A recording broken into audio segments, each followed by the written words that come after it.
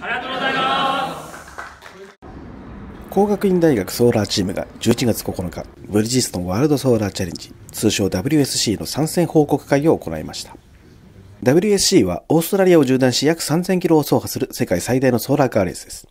今回は10月8日から15日の日程で開催されました。工学院大学はクラス11番目、全体では15番目でスタートを切った後、一進一退を繰り返しながら大会6日目にゴール地点であるアデレードに到着。クラス7位の結果を残しました。参戦報告会にはリーダーの中川拓郎さんなどチームメンバーも登場しました。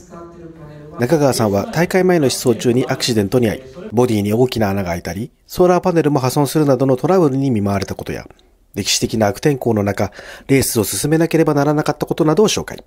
その上で今後に向けた意気込みも見せました。下級生が力をつけていたからこそ、